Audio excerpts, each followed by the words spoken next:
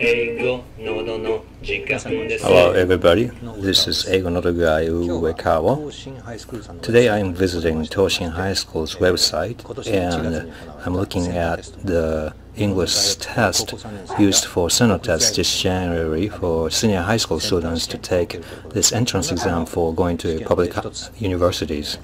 One of the uh, questions that they ask on the test is that uh, uh, it's the question about accent position. Uh, that you are given a set of words and they ask you where accent position lies. The first word is novel, parade, and rescue, and vital.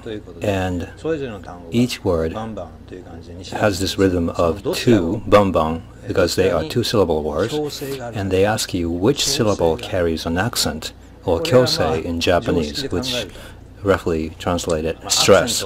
If you use your common sense, you would think that stress means that the uh, volume, attack volume of uh, your voice. So it has to be about volume. So you are supposed to be uh, identifying which part has the largest or biggest volume. Another interpretation of this is that uh, stress or accent should mean pitch or even the length uh, some people and many people have ambiguous understanding of the concept of accent. I called the Department of Education in Japan and they told me that the definition of accent position depends on the teacher. I myself have lived in the United States for the past 18 years, but uh, I have to tell you that in the English language, stress position or accent position is not so crucial. And we have to really question whether there are really accent positions for all of these words. And if there is, is that a matter of pitch or uh, volume of your voice or length uh, I want to really test that. Okay, so these words are, are novel, uh, uh, parade, rescue, and vital. Native speakers of English do not necessarily know uh, where the accent position lines lies. For example, pick a word novel.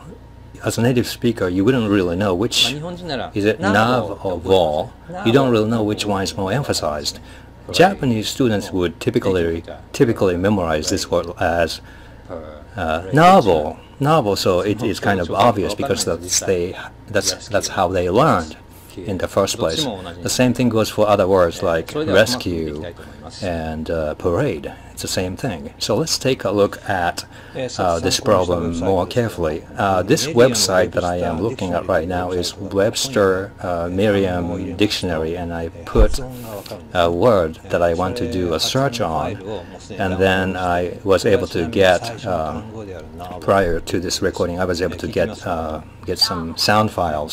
Like this one, this file is saying novel, and this section, the beginning section, which corresponds to the first syllable, is nav, and the other end is vol. As you can see, there is a pitch difference because nav sounds a little higher in pitch than the other part. So accent position should mean pitch. In our book, Eigo Nodo, we are teaching as the issue of where you resonate your throat. Nav is resonating at the upper part of the throat, of the neck. But vol part, you have to go down to the bottom level. Nav vol. That's how we explain it in our book. But in Japan, people say the stress position or accent position is about the volume. Generally speaking, that would be the first definition that people think about. So let's look at one of these uh, meters here.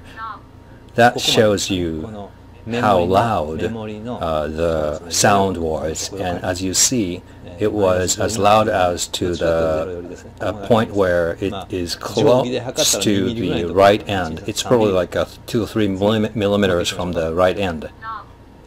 So that's as loud as it is.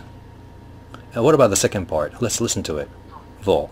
But it's exactly showing the same level of volume. What about the length? I mean, the two portions, two syllables, have the, uh, approximately about the same length. So, so what does this mean? If the dictionary says that there is an accent position for the first part of the word, this cannot be an issue of volume. This should easily uh, uh, contradicts the fact and I mean 音量なのか音量なのかっていうのを曖昧にしたままアクセント記号とかね but, but still, but still people continue to uh, be tested on this uh, accent position problem every year, and people keep the definition of the word of the word accent very vague. So uh, I think people don't want to really see this accent position as a matter of pitch because nobody really is taught, really justifying the accent position as the matter of pitch in the scholarly community. So what about the, um, so what about another word, parade? Okay, I am testing the volume level of the first part and the two parts are recording exactly the same volume level. So this should make us conclude that the um, absolute level of volume is the same for the two syllables.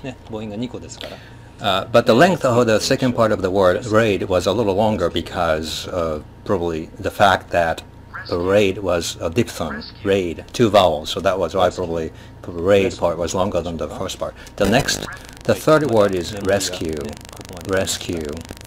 Again, the two syllables are registering with the same level of volume. So naturally we have to conclude that this uh, test question of accent position. What does this mean? What does this mean? So people talk about the first accent position or the second position, but this issue cannot be about volume, but this can be really a matter of um, pitch. So that's that. That's all.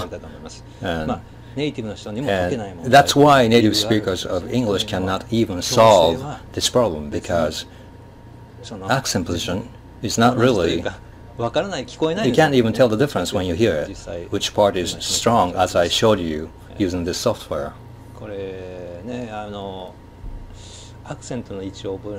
It takes so much time to memorize the accent position forever, so hopefully very soon this type of test item should be abolished, hopefully. According to our approach, or our book Eigo Nodo teaches you to classify all of the English sounds into the upper part resonation or lower part resonation. Like R is pronounced at the bottom of the neck, which is why it has a like a, it has a very resonant and deep lower tone to tonality to it. Uh, what about another word? Another sound A. It goes a little bit up. A is yeah, A is resonated at the upper part of the neck, which is why when you say the word um, um, parade, it sounds like uh, and then go down, raid goes up. So we are explaining every sound in the English language can be associated with this part or that part which is related to the uh, issue and the pitch problem. And I'm explaining here that uh, this type of question is always asking about multisyllabic words, which is not really the major signature feature of the English language. The basic words that we use in the English language are uh, predominantly one syllable word. Just pick one song from the Beatles. Most of the words that they use in their songs are one syllable words.